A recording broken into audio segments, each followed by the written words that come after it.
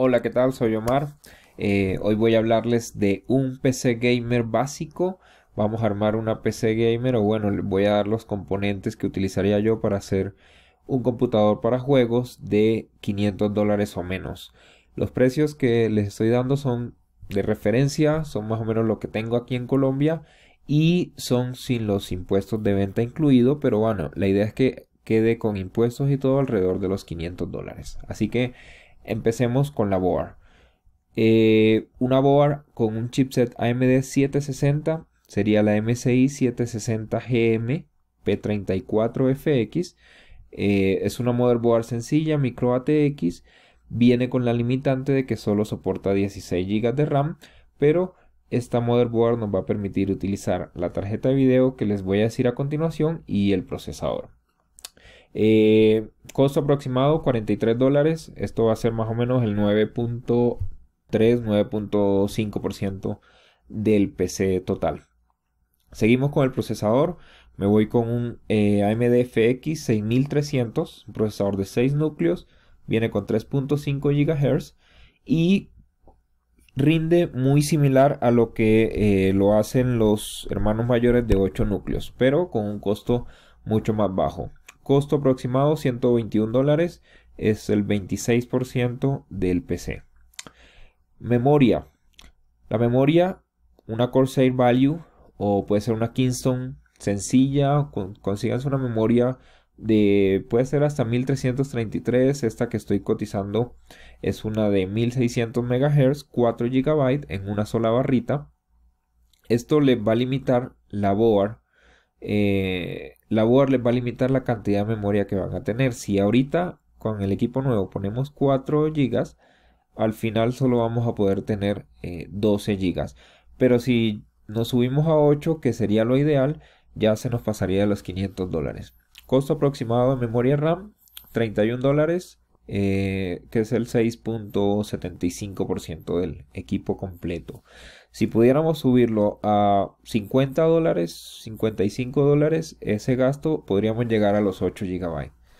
Un disco duro estándar, un SATA 500 GB, busquen el disco duro más, más económico que encuentren porque eh, realmente esto no, va a cambiar mucho el rendimiento en juegos. Bueno, a menos que tengan eh, necesidades especiales para almacenamiento, si tienen que guardar mucho video, muchas cosas. Aquí viene el, elemento importante, la tarjeta de video. Aquí me voy con un gasto de casi el 28% del equipo, incluso más de lo que cuesta el procesador, porque para juegos a esto es a lo que le debemos dar mayor importancia.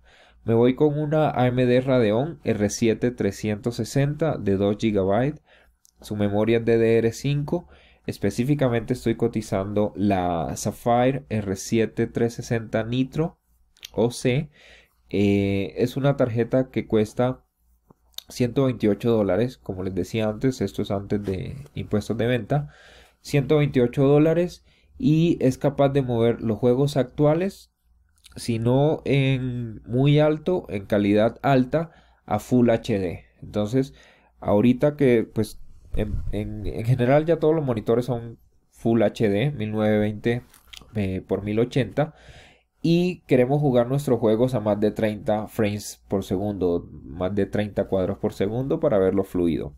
Esta tarjeta nos va a permitir hacer eso eh, a un costo muy bajo de 128 dólares. Entonces, ese es como el core de, este, de este PC gamer. Eh, claro que ella necesita de una fuente de poder que en este caso les voy a recomendar la EVGA de 400 vatios.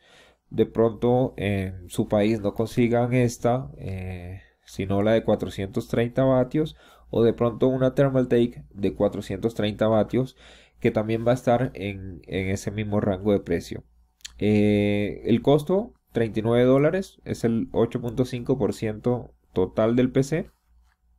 Eh, es posible que esto suba porque es eh, la oferta de fuentes de poder es algo que difiere mucho entre un mercado y otro. Eso eh, lo he visto, lo he visto mucho.